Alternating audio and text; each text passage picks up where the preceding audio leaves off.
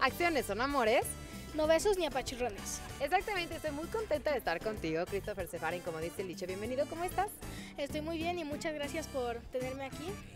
¡Ay, qué gusto! Oye, qué serio. Platícame, Christopher, ¿qué significa este dicho para ti?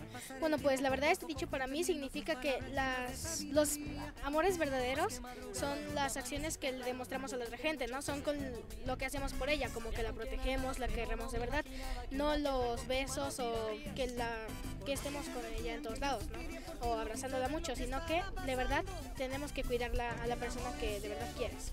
Ay, qué bonito. ¿Esto lo pensaste tú o te lo sopló tu mamá? No, lo pensé yo.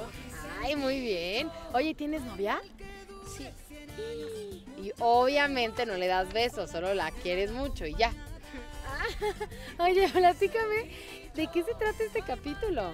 Pues este capítulo es muy interesante y se trata de que Manuel es un chico que tiene a su mejor amiga Jazmín, pero Jazmín está enamorada de él desde, desde que se conocen, pero Manuel como que no capta mucho y se está enamorando de otra chica que es así como que no, no lo quiere, ¿no?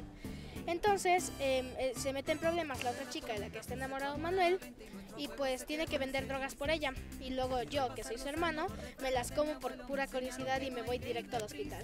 Es que peligroso. ¿A ti te ha tocado alguna vez que alguien ya te ofrezca droga? No, a mí nunca me ha tocado por suerte, porque aún así yo diría que no. Ay, qué eso. bueno. Oye, me encanta, tú muy bien. Dale un buen consejo a toda la gente que nos ve para que ni se metan las drogas y sí sepa cómo ligarse a una niña con acciones.